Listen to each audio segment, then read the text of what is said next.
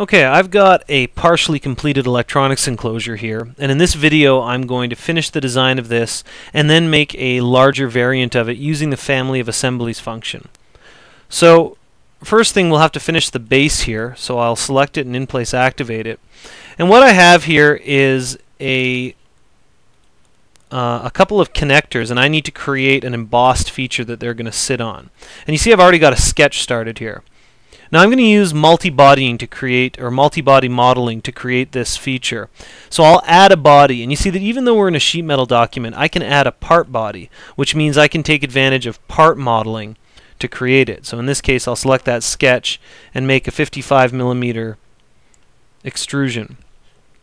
Now, if we look over here in the left, you see that that's created uh, a new design body. And I can actually hide or show either of those two. They're separate design bodies within the same file. We can also click on one of these and do something like show body features and it shows the features in my tree which belong to that particular body. I'm going to right click on this and just move it to a construction body. What this means is that it behaves exactly the same way but this particular body won't show up in higher level assemblies or in drawings. It's just a construction body. And that's fine for my purposes because what I'm going to do is I'm going to double click back on my sheet metal body to activate it and use the emboss command to select that feature or rather select my sheet metal first and then select that feature I created to create an embossed uh, feature. And you can look at it here you see it's created all the rounds for me and now I've got somewhere for those connectors to sit now the other thing I'm going to use is I'm going to use a boolean command to create cutouts for those. Um, these are already in the correct position. We just want to make some cutouts for them. So I'll select the sheet metal part and then go around and select any of the components that intersect it and it'll actually make cutouts with those intersection points. So when I complete that and hide that previous level you see that I now have cutouts that will fit these perfectly. Okay, I'm going to create a slot on this tab, and to do that I'll just jump into the ordered environment. Remember in Solid Edge we have access to both synchronous and ordered modeling, and up until now everything I've done has been history free. In this case I want to use a sketch-driven feature. And the way a slot works is you basically just have to draw a straight line. Now I'll go and constrain that line so that it's locked on the center point of this tab, and then just throw in a couple of dimensions Let's make that 15 millimeters by, and then maybe 10 mil from the edge. And then the slot command is going to take that single line and put a slot, create a slot with it. And that's all defined here in these options. You can dictate a width, um, how the slot ends, and in a part you can actually have a counterbored or raised or recessed hole. Of course, in a sheet metal component, this is typically be cut with a laser cutter, so we just want to cut all the way through. Alright, I'll select that feature and just mirror it in the center reference planes to put it on the other side. Oops, I want to grab that plane. And there it is there, and hit finish. Okay, and we jump back up a level into the assembly. Uh, the one thing you notice about these two connectors is that they've got this little uh, icon next to them, this blue icon, and that just means they're grounded. They're kind of frozen in space. But now because we have mounting holes for them, I want to create some assembly relationship between these components and the holes that we cut in the sheet metal part. And what that means is that if ever we move the sheet metal part or those bosses, uh, these components are going to come along with it because of the assembly relationships. Now the easiest way to do that is with a command called assembly relationship assistant. This basically lets you pick the parts you want to create a relationship between, in this case those two parts, and the sheet metal feature, and then you define the type of relationships you want to create. Once that's done, Solid Edge will automatically go and find relationships that maintain those parts where they are relative to the pieces you selected. If I hit escape and finish that, when we go back and look at those parts, you'll see the assembly relationships collect there. Alright. Next thing I'm going to create is a cover for this part. Now, the create in place command has had some nice updates in Solid Edge ST6, you see we have this new option to position the origin of the new part by graphic input. And what that means is it puts the origin of the part on your cursor. And you'll notice as you kind of come over and mouse over other features, it'll kind of snap to key points on them. And we can use a key point filter here to select a precise positioning for this origin. In this case, I kind of want it on the center back edge of this part here. I can also dictate the material for it and with this button here selected, the create in place, it means that once I accept these parameters and give the file a new name, it'll take me right into this part and I can start creating it. Now in this case, I'm going to make this using ordered modeling. And I'll create a tab on this center plane. I'm also going to design this part to be symmetric, so I'll only worry about one side of it for now. And I'll do a rectangle by two points. If in Solid Edge, if you want to create a relationship between a sketch and a piece of uh, the assembly that's outside of your part, just make sure that you go into Tools and you turn on Peer Locate. And what that's going to let you do is let you create relationships. For example, a connect relationship between the edge of this sketch and the outer edge of that part. Now I know that it's a perfect alignment. I'll add my thickness. And when I do, I notice over here that um, I didn't actually position this part correctly. I positioned it right on the upper edge of the uh, enclosure, but we've actually got these tabs which kind of come up a bit. So I'm just going to go up a level into the assembly and just move the whole thing up. And the easiest way to do that is to just select the part and then position the steering wheel on that leading edge. And then as you move it up and down, you can grab a key point on that feature. Now sometimes it's a little hard to see because the part will block. So if you hit Control Shift D, what that does is that hides the dynamic preview and allows you to accurately select that point. And if we look now, you see that it's resting exactly where I need to be on top of that tab. So let's go back in and finish the design by adding a flange.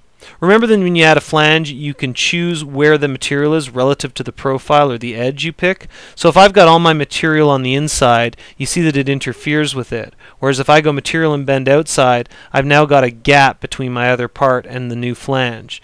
What I want to choose is the just the material outside because that'll draw it up tight. And I'll just reach down and use a key point to define the distance of that flange. Now, when you're designing a symmetric part, it's nice to be able to see what it's going to look like on the other side. Um, of course, at some point we're going to mirror this, but because we're in ordered modeling, we won't do that mirror until we have all of our features. So a good new tool that's been introduced is this reflective plane. And basically, we'll set which plane is our reflective plane and then turn that on and that'll give you a live preview of what it'll look like once you mirror it in that plane. So this is a very handy way to kind of make sure that things are going to fit before you go and commit to making all the other features and then mirroring it as the very last step. So that looks pretty good. I'm going to go in here and create a contour flange on this back edge.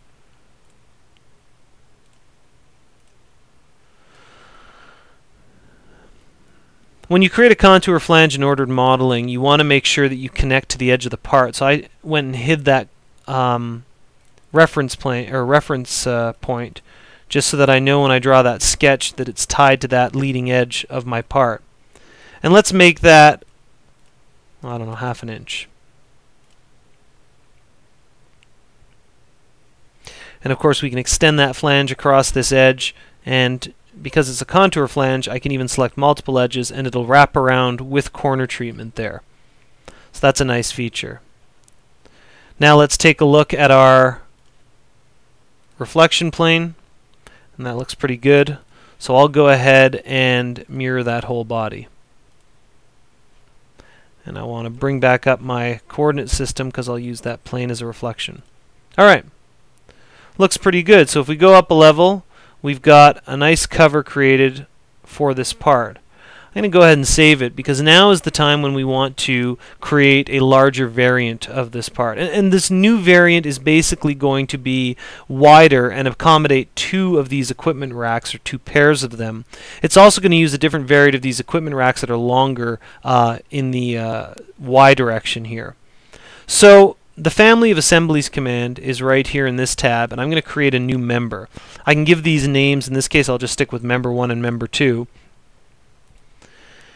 And because it's a family of assemblies, uh, it goes and removes any links I have, because of course we now have two driving assemblies, member 1 and member 2. I'm going to work in member 2, and because it's going to be wider, I'm going to need a new cover and a new base. Now the easiest way to do that is to use a command called replace part, and we have this replace part with copy. What that'll do is it'll make a complete copy of this, but in a unique part. So I'll call this enclosure 2, and I'll do the same thing with the cover. Replace part with copy, and call that cover 2.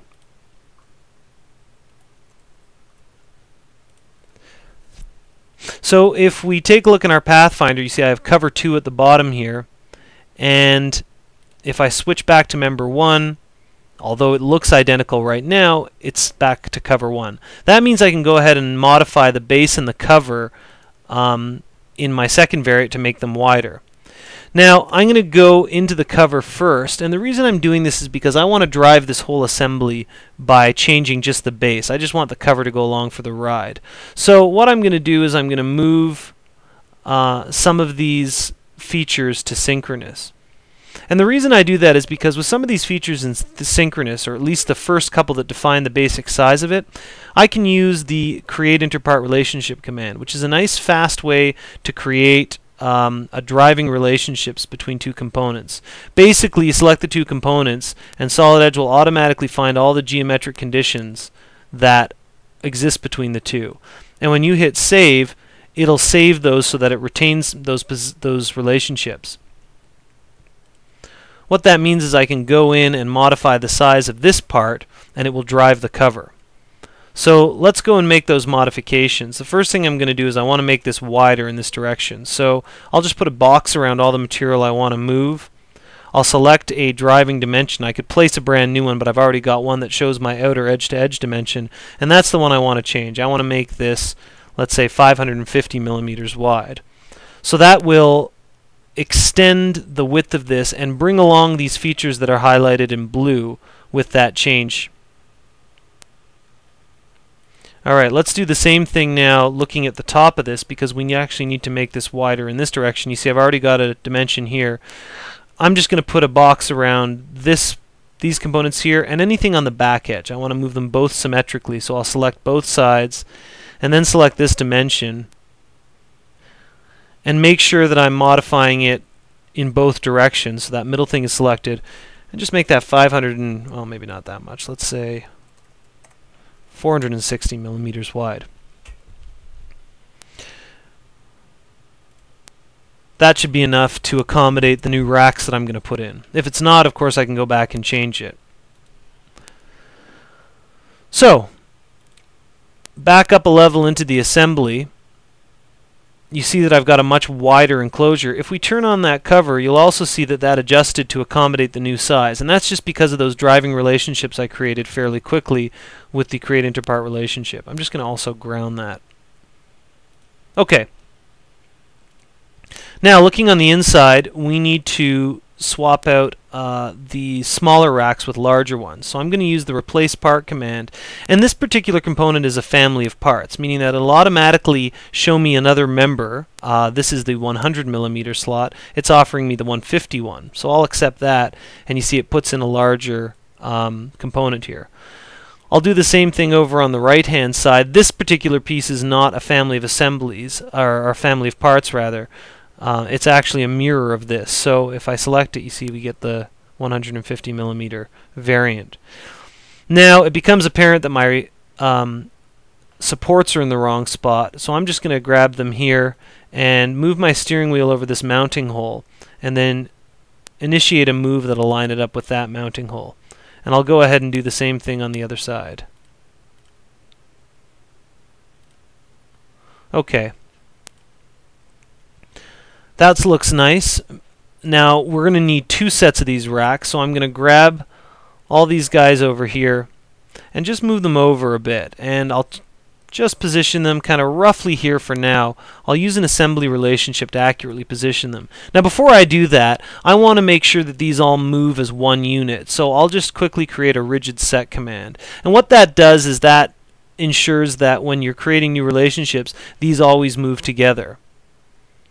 So if we click on any of these parts, you see that they now have a rigid set command. And that's nice when you don't necessarily know what relationships are, are acting between these. You just want them all to move as a part. Now, I've moved this over to this side. I want to actually center this whole uh, group of components. I want to center it within this uh, right-hand side of my enclosure.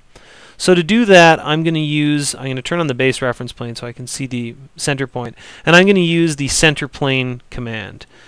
And this is a really nice assembly relationship. Basically the way it works is you pick faces or two faces on one of your components and then two other faces in this case the center plane of my part and this far edge and that's going to center these components in there so I know that that's been accurately positioned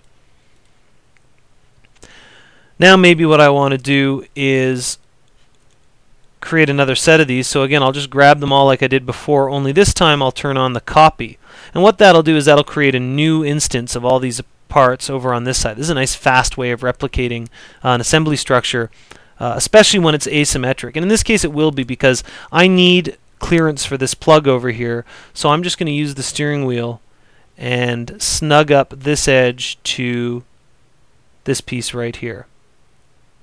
And I've positioned this exactly where I want it to be.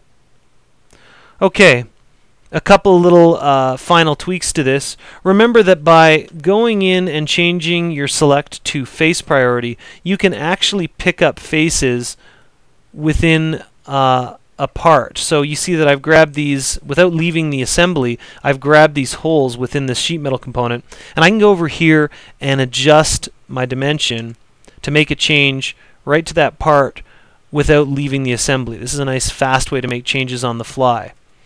This works, that's those are synchronous components here, but this works just as well for ordered components. If I click on this slot, which you remember I created uh, as an ordered component, I can turn on the dynamic edit command and access the sketch that drives this right away and make whatever changes I need to this.